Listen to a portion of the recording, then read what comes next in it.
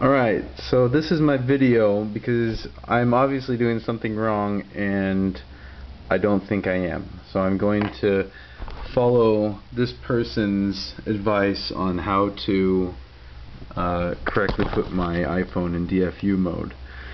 It says try this, connect the phone to the computer while while the iPhone is on, keep connected through the rest of the steps. So connecting iPhone iPhone is now connected to the computer. Turn off the phone. Sliding off. Okay, so it's about to turn off. And there, it's off. Verify pressing the home button to make sure it's off. It's off. Now, hold the power button for three seconds. One, two, three.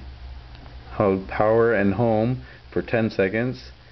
Seven, six, five, four, three, two, one. Hold home for 30.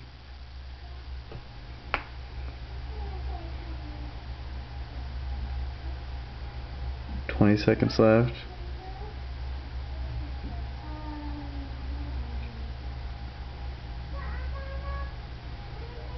10 seconds left.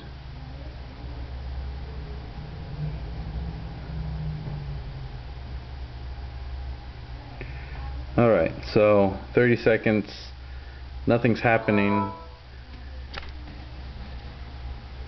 Basically, my computer makes a sound like it's recognized that a new device has been connected.